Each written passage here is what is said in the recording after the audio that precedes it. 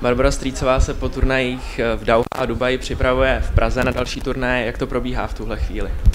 Uh, probíhá to tak, že zatím dělám jenom kondici a až do odjezdu budu v podstatě jenom se připravovat kondičně a tenis budu hrát až tam, takže je to takový lehčí, ale uh, takový potřebný. Hm.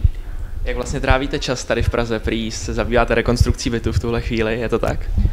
Jo, to nevím, od koho víte tuhle informaci, ale je to tak a ten byt bude dneska nebo tak nějak v těchto dnech hotovej, takže se na to moc těším a e, jinak se tak snažím, jakoby, ono toho moc nejde, když máte dva, dvě kondice za den, tak ten den prostě hrozně rychle utíká a uh, z toho stihnout moc nejde, takže se snažím tak nějak jako všechno odpočívat a dělat ty věci, co má dělat sportovec. Co se týká těch posledních turnajů, tak v Dubaji jste loni došla do finále. Letos se tam úplně tak nezadařilo, jak se na to díváte? O jo, to se všimnou všichni vždycky hned, když se nezadaří, tak to všem eh, utkví hned v paměti a hned vám to vlepí eh, do, do obličeje, takže Uh, dívám se na to tak, že prostě takovýhle dny a takovýhle turnaje se stávají, stávaly se a stávat budou, takže já nejsem robot, který prostě uh, každý týden bude uhrávat finále, semifinále prostě na těch turnajích, takže to se stane a já se budu snažit, aby jsem byla zase lepší a, a třeba mi to vyšlo teďka v Americe. Spravil vám třeba aspoň ten debl trošku chuť? Uh, samozřejmě ten debl jsme hráli dvakrát semifinále na těchto turnajích je důležitý a uh, nevím, jestli mi spravil chuť, to je trošku něco jiného, ale je dobrý, že aspoň v nějaký ty disciplíně se došlo trošku dál.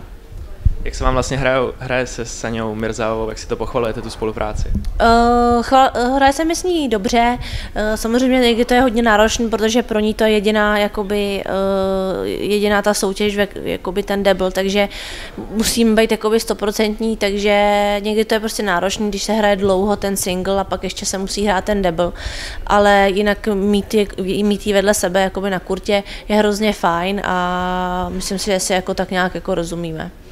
Vnímáte i ten zájem o vás ze strany indických fanoušků? Neplánujete třeba vydat tam na turnaj jednou do Indie? Na turnaj určitě asi ne, protože tam žádný turnaj nemáme, to, ale já bych se tam chtěla jednou podívat jako turista, protože bych ji chtěla tak nějak jako po tu Indii poznat.